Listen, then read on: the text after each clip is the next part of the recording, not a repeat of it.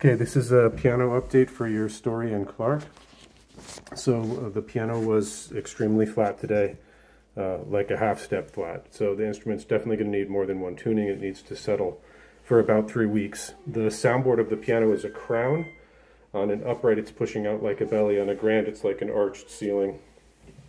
Sit a little further back so you can see this, the, like an arched ceiling. So the crown of the soundboard is designed to be under a very specific down bearing. So we've got all these strings exerting down bearing on this curve. When the piano hasn't been tuned in a long time, the down bearing is in, insufficient, and then the crown of the soundboard sits in an exaggerated fashion, or in your case, kind of further forward than we want. And then as I'm tuning, I'm applying down bearing pressure to one area of that crown, and as it compresses, as I'm, it floats on me as I'm moving more notes and increasing the down bearing. And so it's going to take about three weeks for that down bearing change to really settle across the instrument, and that's totally normal. Most of the change is going to occur on the D5 octave, going in and coming out of the D5 octave. The wires are cross strung and they reinforce each other. The bass and the mid-range section both push down relatively on the same part of the soundboard, and then suddenly there's no reinforcement, and we've got these really short wires going into the high end. So it's the area of least resistance on the crown of the soundboard. The crown of the soundboard also um, swells and contracts seasonally.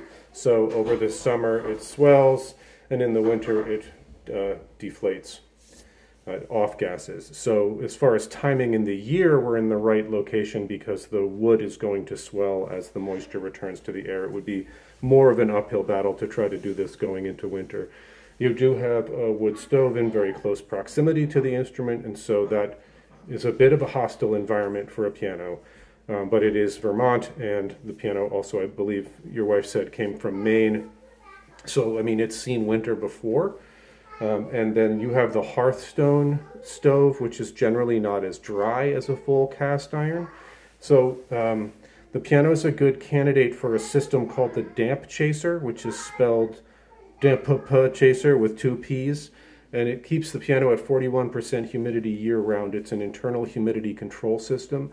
Um, for your guitars, you may have like a Dampit, which is like a you know a little plastic shield with a sponge hanging from it that you put in the guitar to keep moisture in the in the wood. Um, and it's a similar but digital version of that. By far, that's the most kind of expensive one big ticket item to throw at this piano. You could spend $550 installing one parts and labor. There are other ways to humidify the instrument. So the piece of wood in front of your knees when you're playing is called the front door. And there is a friction spring here that you push up and the door will lean out. And in all that free real estate down there and over there, those flat areas, you can put mason jars.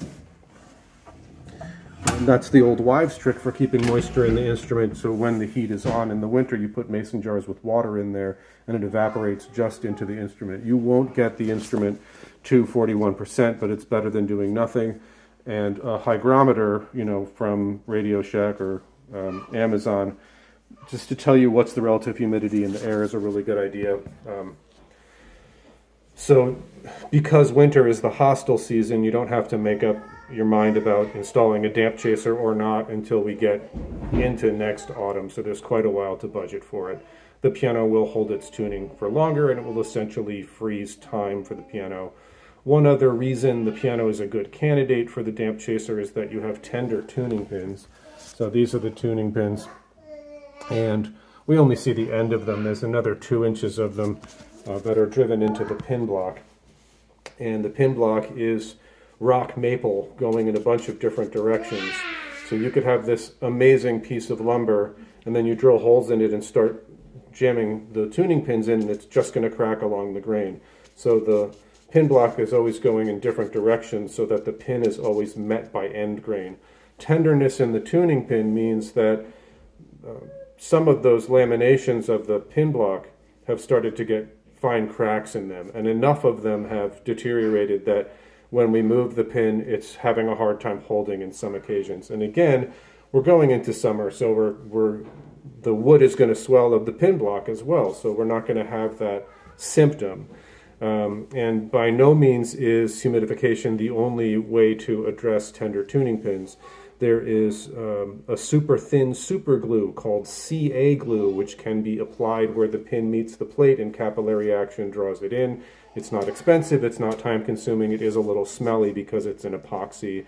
Um, but, you know, generally speaking, when we tune, you know, in three weeks after this has settled, we'll, we're going to start marking tuning pins with chalk, and those are the ones that feel more tender to me as I'm moving them. But we're not going to do anything about them right away. We just want to notice that they're there. And then as we see the piano annually, we'll treat them with the super thin super glue so that they can, um, you know, get better tension. The glue's not strong enough to glue anything in place, but the capillary action draws the glue into the pin block, and then when you move the pin next time, the glue flakes get jammed into the cracks in the pin block. Um, so of the major components, pin block, soundboard, bridge, the pin block's the only one that's showing any fatigue, and that's excellent. Um, the dampp-chaser, if we installed it, would protect all of those. Uh, I understand the instrument is uh, like your grandma's piano. Um, so that's pretty awesome. Uh, to have that many generations on the same bench is pretty unique. Um, there's uh, clicking on the A note that's undiagnosed. There's early let off, but not throughout the piano. So the, the, the touch mechanism of the instrument is essentially a miniature catapult. You're shooting the hammer at the string and catching and reloading it. You need to be out of the way of the string or it has no room to ring. Um, and the firing of that catapult is called let off, and it is accurately described as timing, but it is easily described as distance. So how far from the string are you when you shoot the hammer? And in your case, we have let off that's pretty early, uh, especially going into the high end. And what that means for the musician is that when you're trying to play softly, you can't cross that great distance to activate the wire. And what it means for the tuner is that I'm trying to knock it into tune, and I can't apply maximum force because the, the instrument lets off too early. And I can show you that this, I don't know how I'm going to get the angle on this. So let's see what hammer how far from the string that is when we stop having forward momentum. That's pretty far. Can't tell if I'm catching that or not. Um, and then down in the low end here, the mid-range, it's not that far. So that's actually a pretty decent, you know, that's very close. Um, so Steinway doesn't have a measurement. Steinway says, uh, how close can you get it? And how humid was it when you did it. So we want it to be as close as possible without muting the wire. So that's kind of an elective um, down the road thing for the piano, but it may explain some of this is really solid to play and it kind of feels like I'm playing into the air in some areas. Um, so that's an adjustment we could make later down the road. So as far as the tuning today, the piano was transposed. Definitely need another tuning, no sooner than three weeks. There's no reason not to play. You're not going to hurt it, but you're definitely going to hear it sagging and twisting. Um, the next tuning will probably have some settling as well, but not nearly as much. And then we probably, even if it's not perfect, we probably wait a little while and see how it does in the summer. So the piano takes three months to square to the floor after you move it. It's a 500, 450 pound instrument. And so when you move it, it twists to meet the foundation of the new house. Carnegie Hall has a stage that moves. The orchestra pit is not for the orchestra. Pick up your cello. Um, it's for the nine foot grand piano, which is holding 20 tons of pressure and took four hours to tune. So you don't move that piano, you move the room. Um, and then in, in non Carnegie Hall concert settings, you see a metal tripod underneath the grand, and again, to minimize any twisting as it's relocated.